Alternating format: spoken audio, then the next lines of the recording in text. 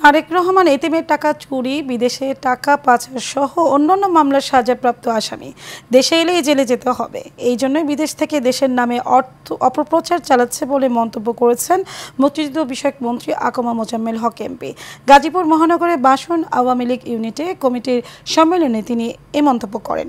এ সময় উপস্থিত ছিলেন নগর আওয়ামী লীগের সাবেক সহসভাপতি আফজাল হোসেন সরকার রিপন। গাজীপুর জেলা যুবলীগের আহ্বায়ক এস এম আলতাফ হোসেন সহ